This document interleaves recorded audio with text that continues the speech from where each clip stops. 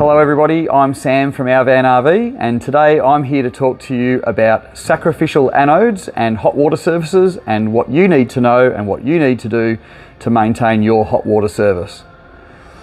So most people want to know what is a sacrificial anode? Well this is a magnesium sacrificial anode.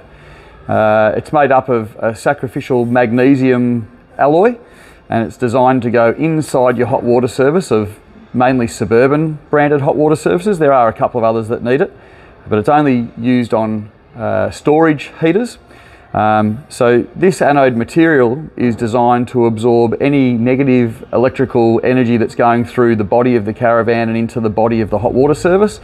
And it's designed to let this material corrode instead of making the drum of the hot water service corrode. Um, a lot of people like to know how long these things last. Well, uh, I've got a couple of examples here to show you.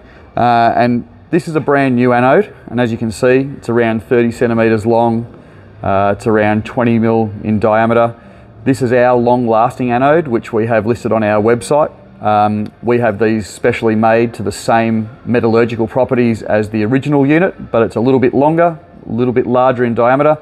And therefore this, sorry, nearly dropped it. This unit uh, is going to last almost twice as long as the genuine suburban one at around half of the price. So effectively, you're getting four times the usage for the same money. So that's a new anode. This is an example of an anode that's heavily worn but not totally worn out. However, if we were to pull that out of a hot water service during a service of your caravan, we would recommend replacing it at that point. They do get worse. As you can see, this one's nearly worn right away. And then we've got an example of one here, which is totally gone. And believe it or not, we've actually seen these where even the steel center support is actually worn all the way down and you're left with nothing but the nut. So these get inserted into the side of the hot water service. I'm going to take you now and show you exactly where they're actually located. So this is a new suburban hot water service. Uh, very popular. They've been fitting these suburban hot water services to caravans since the late 70s, would you believe?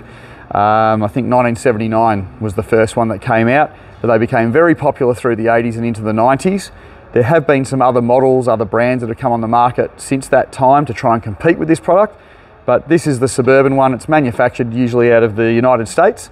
Um, very robust hot water service, and these are fitted to most of our Seascape and Atlantic caravans.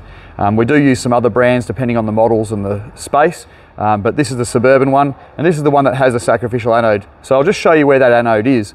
So the anode is in behind the main cover. We've got a little clip here that allows us to just to be flip up, rotate around, and then we can open the service access door. That just folds down on this hinge. And as you can see in the back here, we've got all the workings of the hot water service. Gas control valve, the gas flows through here to the burner and the flue. Uh, you've got a pressure relief valve. There's a reset in here for the thermocouples. You've got your igniter. Underneath here, there's a black cover, which is where your 240 volt element goes. And this big nut in the bottom here is where the anode goes inside the hot water service. So what we've got is, we've got this tool, which is also available off our website. So this is purpose designed to be able to remove the anode using this end. And on the larger end is the nut that fits the 240 volt element that's in behind the black cover. So what we do is we use this with a screwdriver through the hole. We place this over the end of the anode and then we put the screwdriver in and we use that as a leverage to be able to undo the anode and then pull it out. It is important to make sure when you're going to remove an anode from one of these hot water services, a few things. First thing, you need to have no water pressure. So make sure your water pump's off, make sure the van's not connected to high pressure. You need to make sure that you've relieved any pressure using the overflow here by just levering that up and that'll let out any excess pressure in the hot water service. And then that way, when you go to undo that nut, there's no pressure in there. If you leave the pressure in there and you, you pull it out, water will go absolutely everywhere. So once that anode's out and you've inspected it as per the, uh, the ones I showed you before, if it's all worn out, um, we have this special tool, which is also available via our website.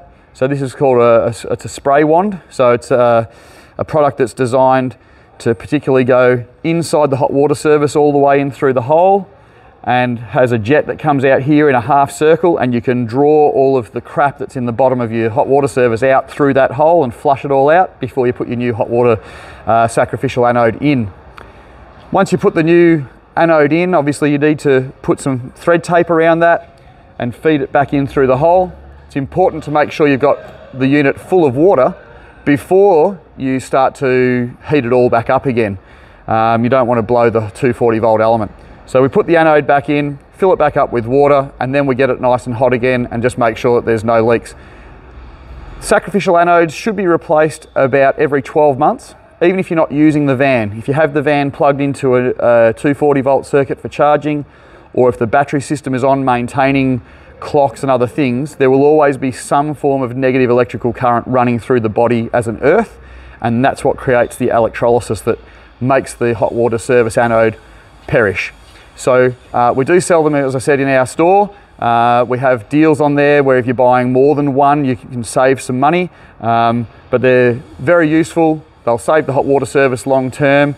And if you've got any questions, feel free to jump on the website, uh, ourvanrv.com.au, or give the team a call on 1300 068 700, and they'll be happy to answer any questions you have. Hope this has helped you make a wise decision on keeping your van safe. Thanks again.